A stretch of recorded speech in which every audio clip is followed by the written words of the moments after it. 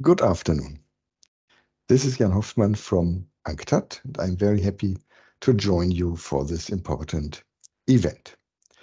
Let me share screen so that we can then join and speak about uh, the trade logistics shipping context in the context of empowering informed decisions for a better tomorrow. My presentation is based on the review of maritime transport, our UNCTAD flagship publication about shipping and port developments. Let me start with some long-term trends.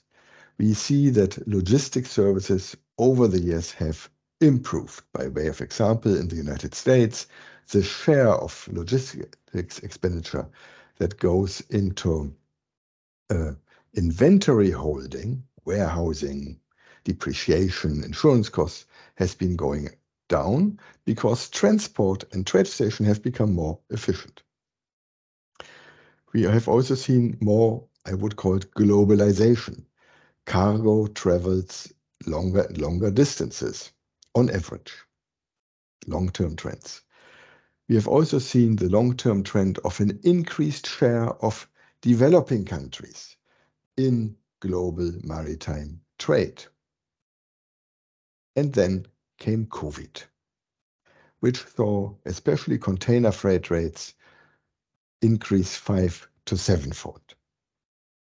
What explains those uh, this this impact? What what happened? Uh, allow me some words on basic shipping economics. The demand for transport is what we call relatively inelastic. You need a big change in shipping cost to have a small change in demand because we really need this iPhone for Christmas, really need this spare part to continue our production, really need this fuel. So, relatively steep. The supply in shipping is often drawn like here, which means for a long time it, uh, if there's enough capacity, freight rates are low. But if we reach a capacity limit, freight rates and, and prices can go up a lot. For many years, we had a freight rate A. During COVID, we saw two things. First, demand went up because we ordered more things online. Hmm? And many of these things were made, especially in China and other East Asian countries. On the supply side, ships spent more time in port. We had congestion, we had waiting times, which reduced the effective supply. The result is the increase in the freight rate reflected here by the going from A to B. And now we are back. We are back to very low freight rates with a recent surge which has to do with the crisis in the Red Sea. However, this is not so much the topic here. Happy to discuss. Uh, it does just show how vulnerable this situation can be and how we are not protected from future crises. So you see how it has surged again, the container freight rate.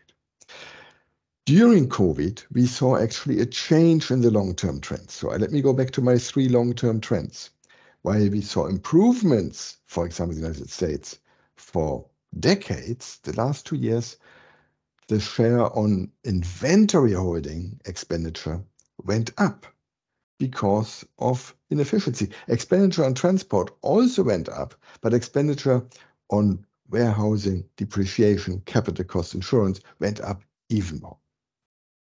We do expect and hope that in the longer term, we will go back to the positive longer term trajectory. Similarly, during COVID, actually, the distance went slightly down, but this is not really a change in trend. If we look at the latest data, we see how the distances in some commodities have actually increased. This here also has to do with the war in Ukraine, when um,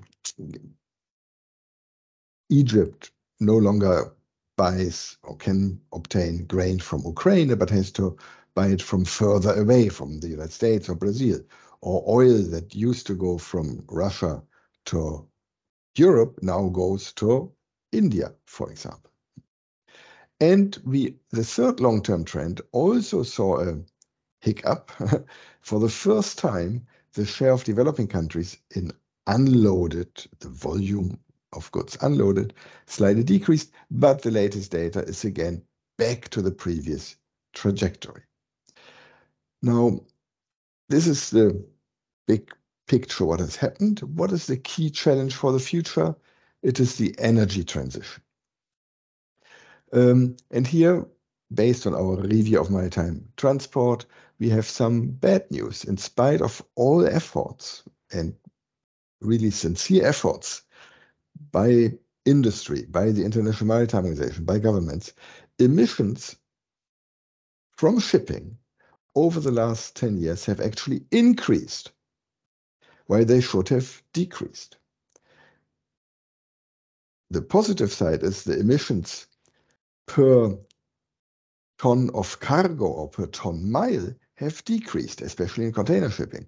This is good news. This means that trade had grown even more than emissions. So the emissions per trade have actually gone down. So we had one bad news, one good news, and now comes again, I'm spoiling this good news because about half of the improvement that we have seen in the reduction of emissions per ton mile are due to economies of scale. And we don't really like ships getting bigger and bigger. These, this poses challenges for the ports, for door-to-door -door logistics costs. But it is also true that bigger ships, you see on the left, the blue bars, the bigger a ship is, the less it emits per ton mile.